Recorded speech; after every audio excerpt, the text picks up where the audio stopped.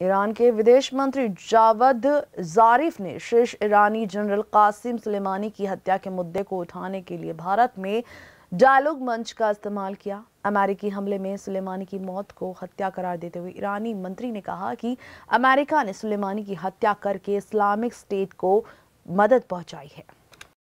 दिल्ली में आयोजित कार्यक्रम में ईरान के मंत्री जावद जरीफ ने अमेरिका पर हमला बोलते हुए कहा, कासिम सुलेमानी की हत्या का जश्न दो लोग मना रहे हैं। एक, दाएश और दूसरा अमेरिकी राष्ट्रपति डोनाल्ड ट्रंप।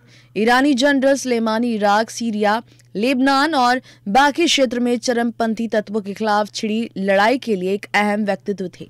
अमेरिका ने आरोप लगाया कि सुलेमानी खाड़ी क्षेत्र में अमेरिकी सेना के खिलाफ छद्म युद्ध छेड़े हुए थे।